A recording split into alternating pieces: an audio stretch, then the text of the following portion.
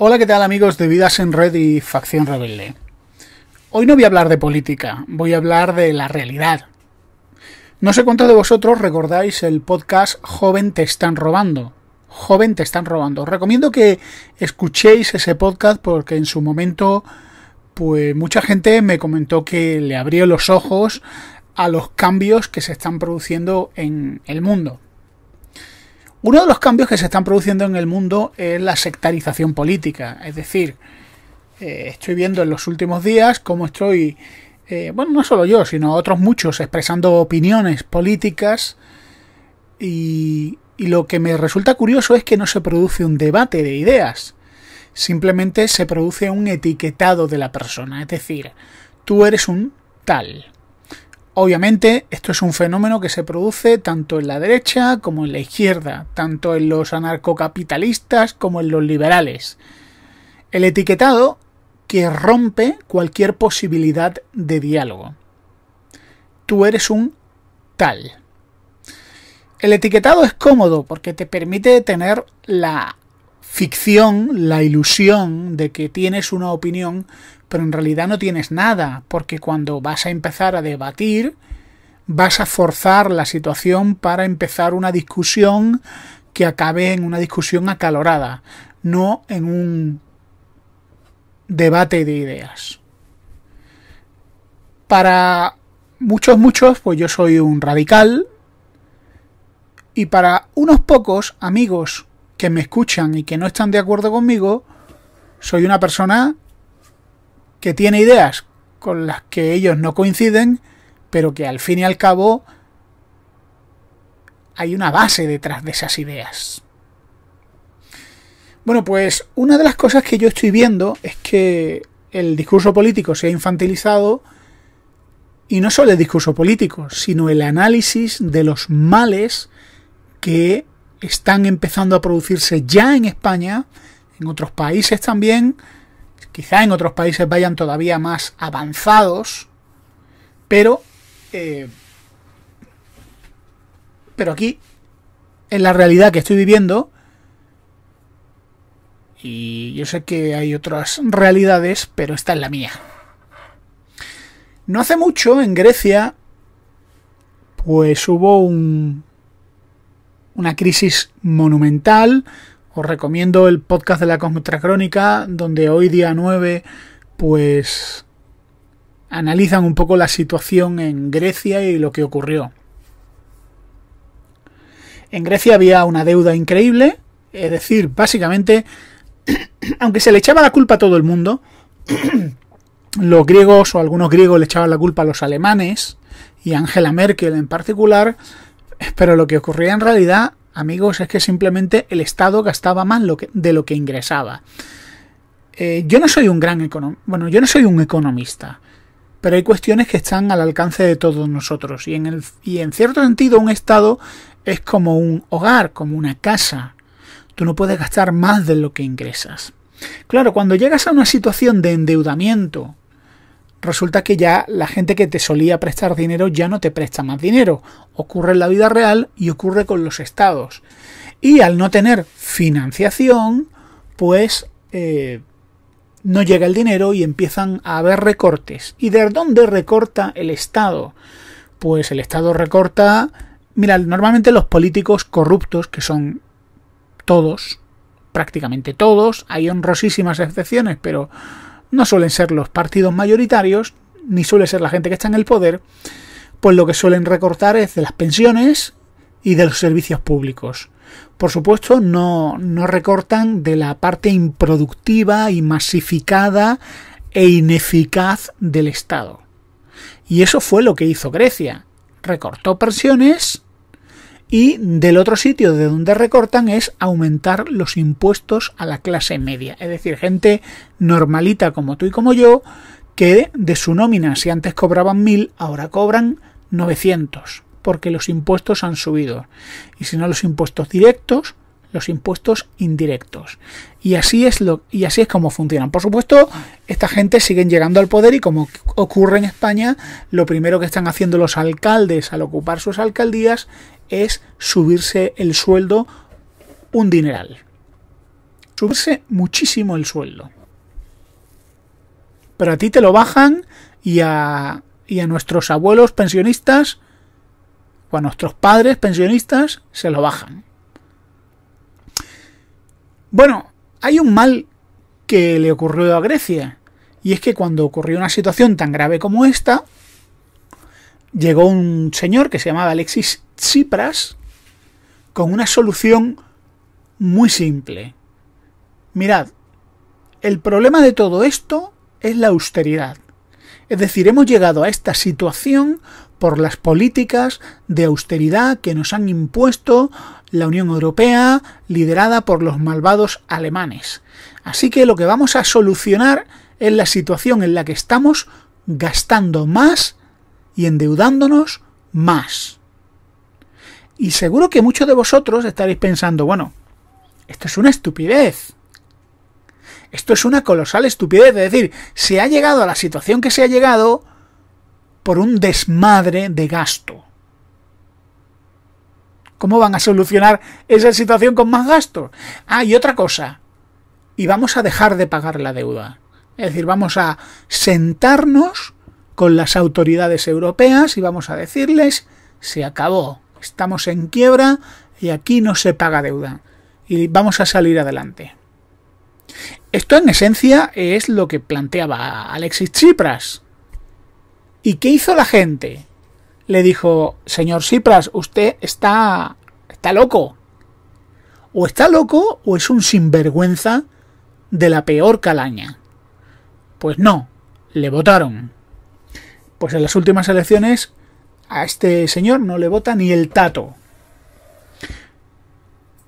Y seguro que hay mucha gente que está de acuerdo conmigo, casi todos. Ahora, si yo les digo o les recuerdo de que Pablo Iglesias estaba loco por hacerse la foto con Cipras y lo consiguió, y se identificaba con las recetas económicas de Chipras, aunque España no estaba igual que Grecia, afortunadamente, pero España estaba saliendo de una crisis económica. Y las recetas de Podemos eran las mismas, y lo que le oíamos a Pablo Iglesias era las políticas de austeridad están asfixiando a los más pobres. Van a pagar, por cierto, otra cosa que suelen hacer, lo decía Chipras y lo dice Pablo Iglesias y lo dicen los del PSOE. Van a pagar los más ricos. Mirad, cuando un político dice que esto lo van a pagar los más ricos, es mentira. Lo que está diciendo es que van a pagar los de siempre porque son así. Bueno, si me permitís, voy a dejar la política y voy a hablar de una situación acuciante y, y muy preocupante. En nuestro país, como en Argentina, aunque Argentina está todavía a un nivel superior, pensamos que el Estado nos va a solucionar los problemas. Y que al final cuando dejemos de trabajar, vamos a recibir una pensión del Estado, porque el Estado tiene recursos sin límites, inagotables. Y vamos a vivir, mejor o peor, pero vamos a vivir. Esto es una idea que tenemos muchos españoles. Bueno, eso es falso. Mirad, los estados protectores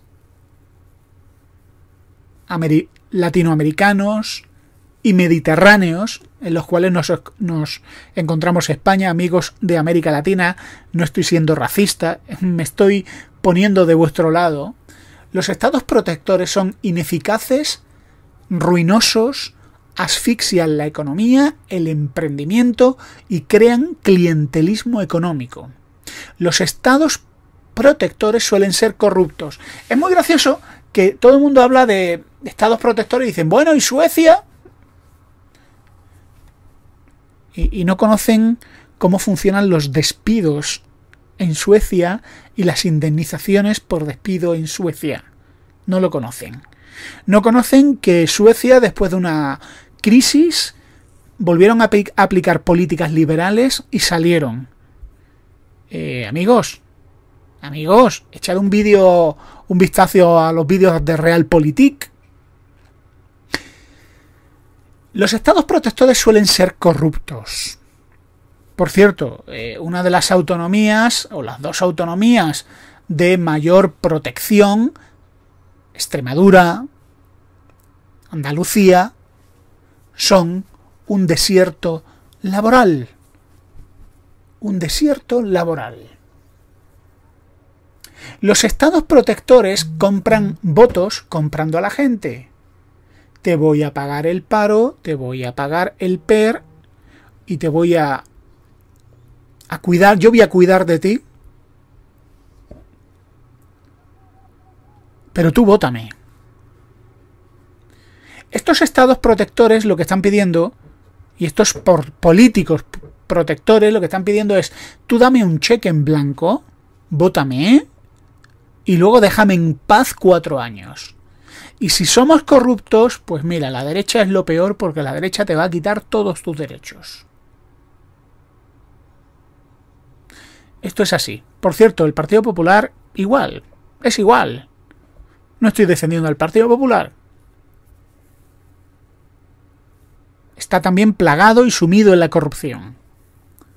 Lo mejor que le podría pasar al Partido Popular es desaparecer. Hay algo bueno que nos metieron algunos padres en la cabecita de algunos hijos, y es la idea de comprar un piso. Tener algo en propiedad.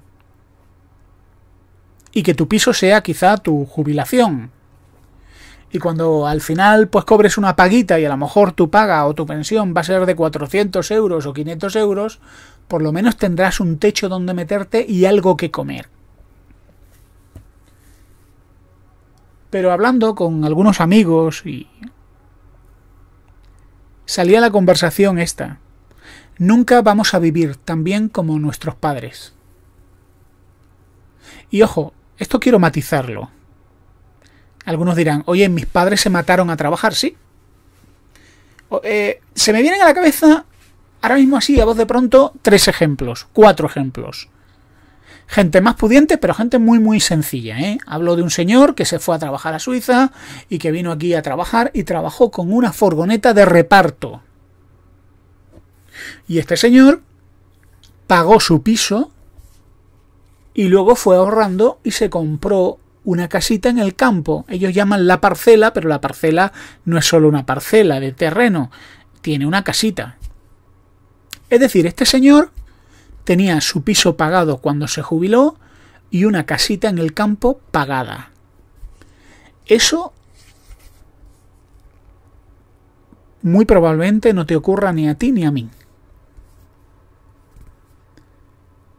El otro día me hablaba de una amiga mía, una amiga mía que es mayor que yo, y me hablaba de su padre, gente de campo, gente currante que se buscaba la vida para salir adelante. Y gente que tiene dos viviendas. Eso a ti y a mí no nos va a pasar, amigos. Se acabó.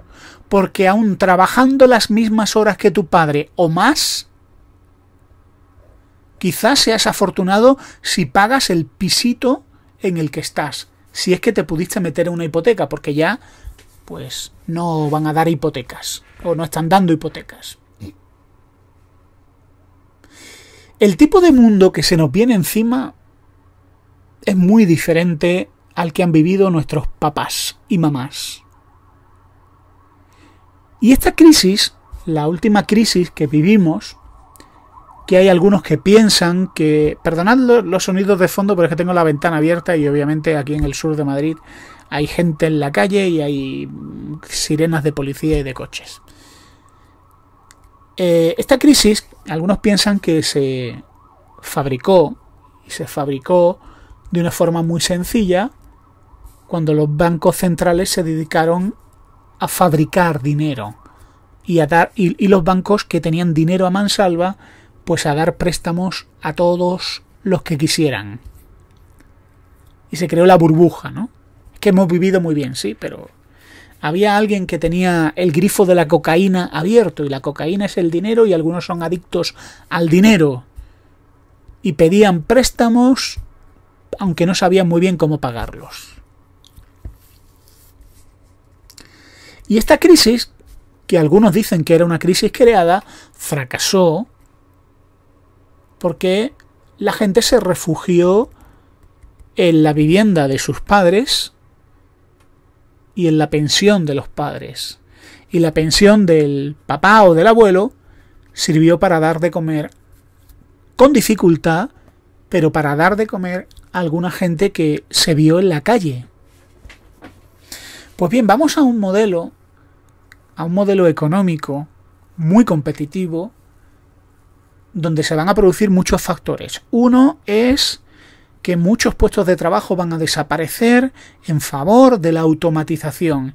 Esto ya ha ocurrido en el pasado, ahí estuvieron los luditas luchando contra la industrialización en Reino Unido. Esto no es nuevo, esto ya ha pasado.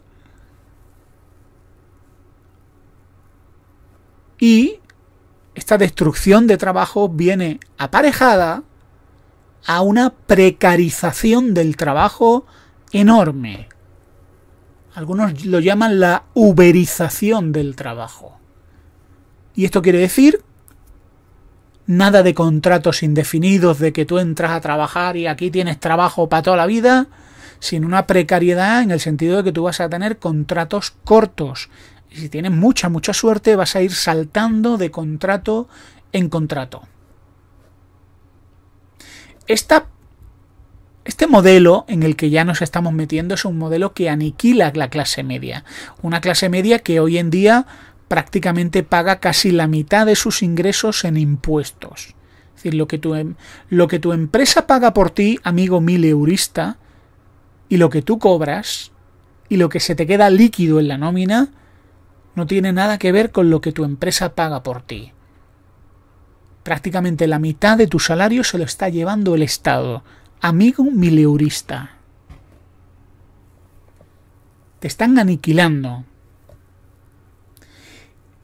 Y este modelo de sociedad va a ser, es una sociedad donde va a haber gente pobre, una clase pobre trabajadora y los muy ricos. Y es interesante lo que diga clase pobre trabajadora. En últimos informes económicos están hablando casos de pobreza de umbral de pobreza, gente por debajo del umbral de pobreza que trabaja. Y dices tú, ¿cómo es posible? Antiguamente el pobre era el que no trabajaba en nada. No, pues esto es lo que está ocurriendo. El mundo en el que nos estamos metiendo.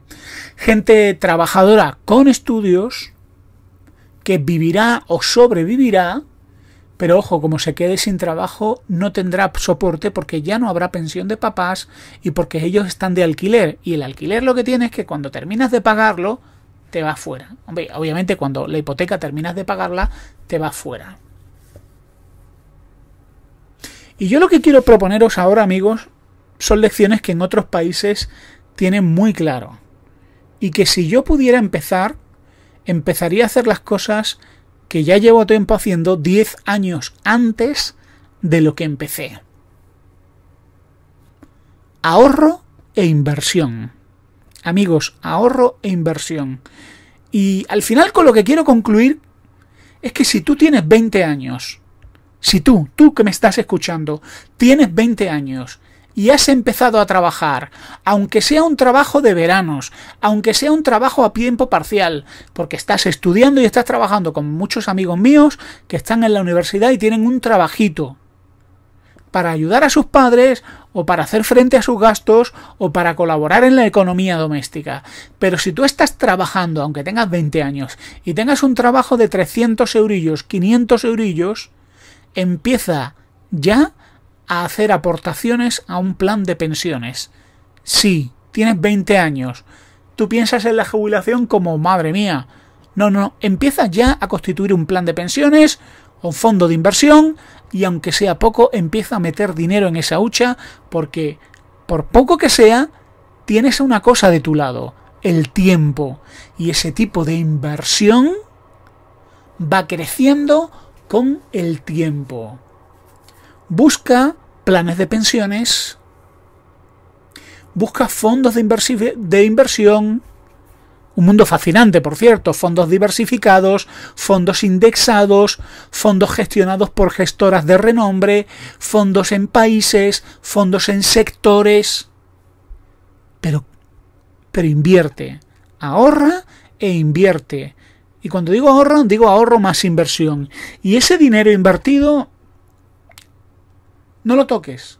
Que no te dé la neura de, bueno, ahora he invertido, que he comprado esto, he comprado en este fondo, ahora este fondo, fíjate, el año pasado me dio un 13%, qué locura, voy a transformarlo en pasta y me voy a ir de vacaciones. No. A ver, tampoco estoy, no, estoy abogando por la austeridad y por la frugalidad absoluta. Tengo que, me gustaría, algún día de esto voy a hablar con, con uno de mis hermanos que está en, el movimiento FIRE, Financial Independence, y no sé qué más, que está en inglés. Tiene un blog. Busca ahorrar y busca invertir. Y, súper importante, propiedad. Propiedad. Mira, si tienes la posibilidad de invertir en la propiedad de un pisito, por minúsculo que sea, pero puedes pagar las letras, puedes ir pagándolo poco a poco. Cuando adquieres una propiedad, estás adquiriendo un bien que se va a ir revalorizando, que podrá ser un refugio si vienen malos tiempos, y que a tu jubilación o bien podrás utilizarlo para meterte a vivir dentro, o si ya, o si no vivías ya dentro antes, o para transformarlo en dinero y irte a vivir a un pueblo donde el terreno está más barato, las casas estén más baratas, o simplemente evitar las subidas de los alquileres. Porque otra cosa que está ocurriendo, esto es una obviedad, los precios de la vivienda se están disparando a lo bestia los fondos de inversión están comprando viviendas a lo bestia. ¿Por qué? Porque es un buen sitio donde invertir. Si, si yo tuviera muchísimo dinero, me, comprar, me empezaría a comprar pisos en Madrid como si no hubiera mañana. Si yo tuviera dinero que no necesitara recuperar, me metería a invertir y a comprar propiedades. Bueno, tú no eres un fondo de inversión. Haz tú lo mismo. Porque vienen tiempos donde la vivienda es un lujo. Por cierto, los políticos de un lado y de otro, los políticos de un lado y de otro no han hecho mucho. Algunos sí se han puesto a construir y, y a la vez que se ponen a construir y a dar licencias, pues se han puesto a corromperse. Partido Popular. Y otros políticos de izquierdas, pues en lugar de dar licencias y ceder suelo público para viviendas, no han cedido nada. Este es el caso de Barcelona, este es el caso de Madrid.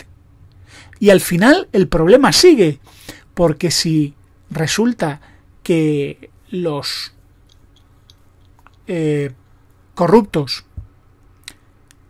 ceden suelo público, pero el, el, precio se dispara porque ahí hay una corrupción brutal, porque hay que pagar a los políticos y los políticos son caros, la vivienda se encarece. Si los políticos de izquierda dicen no, no, no, es que no vamos a permitir que la vivienda sea objeto de especulación, ¿cómo vamos a solucionar esto? Pues lo vamos a solucionar de una forma muy barata, regulando, regulando los precios de alquiler y los precios de venta. Eso no funciona, no ha funcionado y el problema sigue ahí. Y mis amigos se están yendo a vivir a Guadalajara porque no pueden permitirse un piso en Madrid. Y el que tiene suerte, a un piso, a, un pisito a menos de 80 kilómetros o 60 kilómetros de Madrid. Esto es lo que está ocurriendo. Eh, así que amigos, amigos jóvenes que me escucháis, a lo mejor me odiáis porque no soy de izquierdas. Bueno, dejad eso a un lado. Hacedme caso, chicos empezar a ahorrar, empezar a invertir y si tenéis la posibilidad de comprar algo, compradlo porque vienen tiempos muy jorobados, muy chungos. Por supuesto, invierte en tu formación, en tu preparación. Si puedes ir a otros países y tener experiencia laboral en otros países, aún mejor. Porque lo que es España, la cosa viene mal. Bueno, viene mal. Alguno dirá, no, converso, ya está mal. Sí, bueno, es cierto, ya está mal. Pero no creo que vaya a mejorar con las recetas que están dando los, partidos. Ahora viene un periodo de Partido Socialista. ¿Qué va a pasar? No lo sé. Pero las recetas que están dando para salir de la crisis son más gasto público y más impuestos.